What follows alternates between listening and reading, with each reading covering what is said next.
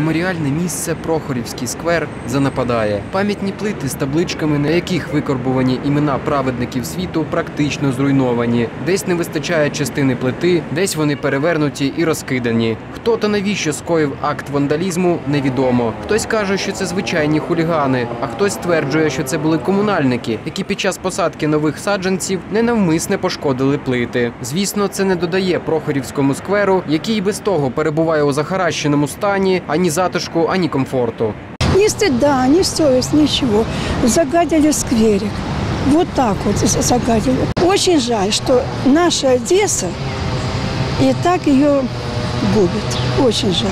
Хозяина нет, по-видимому, у этого скверика конкретного. За словами голови Одеської регіональної асоціації євреїв, колишніх в'язнів гетто і нацистських концтаборів Романа Шварцмана, існує договір з міським управлінням капітального будівництва про реконструкцію скверу. Є навіть відповідний проект, але чомусь чиновники не поспішають втілювати його в життя. Вот вы правильно подняли вопрос об этом низшем, убогом памятнике жертв Холокоста и праведников народов мира.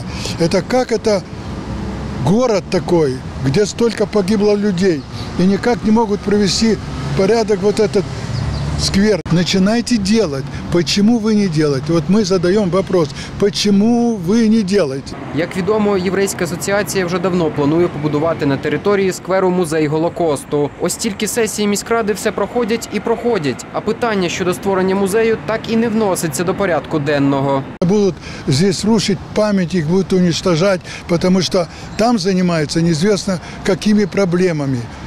Приватизация, вот была э, вчера, кажется, была сессия э, горсовета, тысячу предприятий приватизировали. Чего же вы не занимаетесь вот таким важным государственным, международным делом, как строительство музея Холокоста? Это же тоже очень важный вопрос. На жаль, чиновники та комунальники не поспішають навести лад на цій території. Схоже, їх не хвилює історія і пам'ять праведників світу та загиблих під час голокосту одеситів. Павло Сичевський, Юрій Шинкаренко. Інформаційна служба новин.